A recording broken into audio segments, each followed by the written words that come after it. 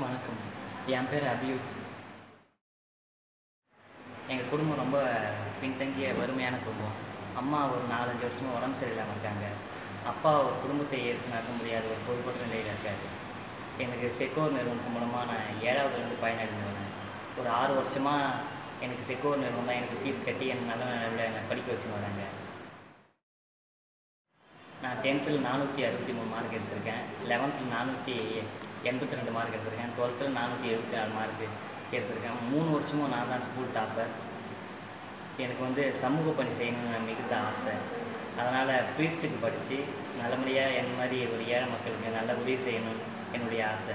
எனவே எனக்கு உதவி செய்த செக்கோ நிறுவனத்திற்கும் ஏசிஐ நிறுவனத்திற்கும் எனது சார்பாகவும் எனது குடும்பத்தின் சார்பாகவும் ம- மனமார்ந்த நன்றியை தெரிவித்துக் கொள்கிறேன்.